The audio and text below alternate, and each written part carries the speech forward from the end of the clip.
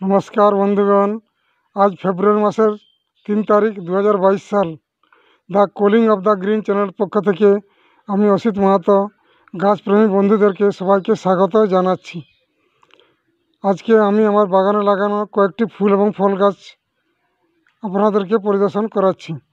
প্রথমে দেখুন একটা হলুদ কাঞ্চন ফুলের গাছ। কি সুন্দর একটা হলুদ কাঞ্চন ফুল ফুটে আছে, আপনারা দেখতে পাচ্ছেন। হলুদ কাঞ্চন ফুলে কোনো রকম সার প্রয়োগ করা হয়নি। আমাদের এই কাঁকরযুক্ত মাটিতে শুধুমাত্র এনে লাগিয়ে দিয়েছি। তাতে কত সুন্দর পাতাগুলো সবুজ হয়ে উঠেছে দেখতে পাচ্ছেন। এর সাথে দাঁড়িয়ে আছে একটা ল্যাংড়া প্রজাতির আম গাছ।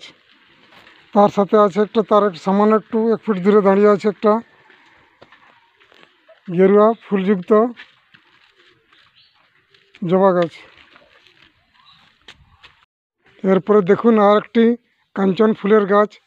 এই ফুল গাছটিতে সাদা ফুল ধরে, একটু গরম পড়লেই এই কাঞ্চন গাছটি সাদা ফুল ধরতে শুরু করবে। বর্তমানে ডরমেন্সি পিরিয়ডে আছে। দেখুন, একটু ভালো করে লক্ষ্য করে পাতাগুলো ঝরতে শুরু করে দিয়েছে। এছাড়াও আবার পিঙ্ক ভ্যারাইটির কাঞ্চন ফুলের গাছ দেখতে পাওয়া যায়, যেগুলো শান্ত শীতকালে ফুল ফোটে। কিন্তু এটা গাছটা আছে সাদা ফুলযুক্ত কাঞ্চন গাছ। এটা গ্রীষ্মকাল না হলে মার্চ থেকে শুরু হবে, একবার অক্টোবর মাস পর্যন্ত। চলবে ফুল ফুটে গাছের। এখন দেখুন, একটি হাইব্রিড ভ্যারাইটি কামিনী ফুলের গাছ। এই গাছের বৈশিষ্ট্য হলো, বৃষ্টি পড়লেই এই গাছে কুড়িতে শুরু করে এবং ফুল ফুটে। প্রায় ছ মাস আগে এই গাছটি লাগিয়েছিলাম। প্রথমে একটা ছোটো গ্রো বেগে ছিল। এরপরে আমি বারো ইঞ্চি প্লাস্টিক বালতির এটা রিপোর্টিং করি। বর্তমানে একটা বিশাল গাছে, বিশাল গাছ না হলে ছোটো গাছে পরিণত হয়েছে। এবং পাতাগুলো দেখুন কত সবুজ, কত সতেজ।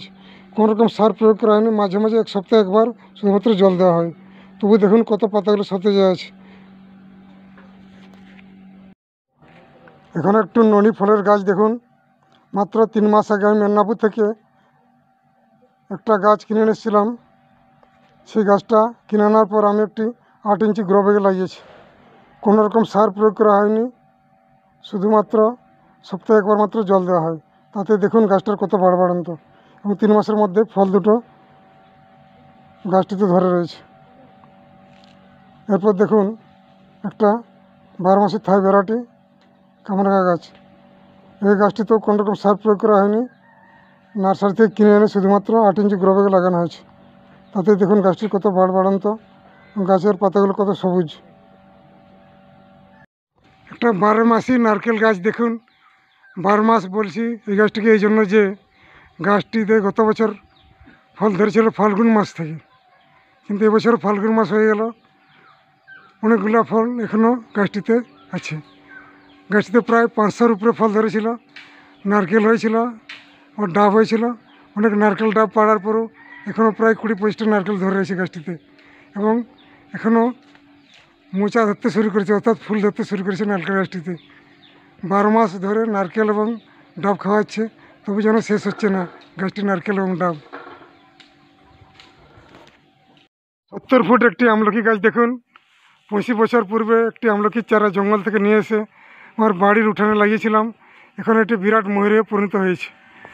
প্রতি বছর প্রায় চারশো কিলোগ্রাম করে আমলকি এই গাছটিতে ধরে। বর্তমানে মাঘ মাস চলছে। আমলকি সব পেকে ঝরে পড়েছে। আর দু এক মাসের মধ্যে অর্থাৎ ফাল্গুন মাসের ফাল্গুন মাসের শেষের দিকে মুকুল ধরতে শুরু করবে।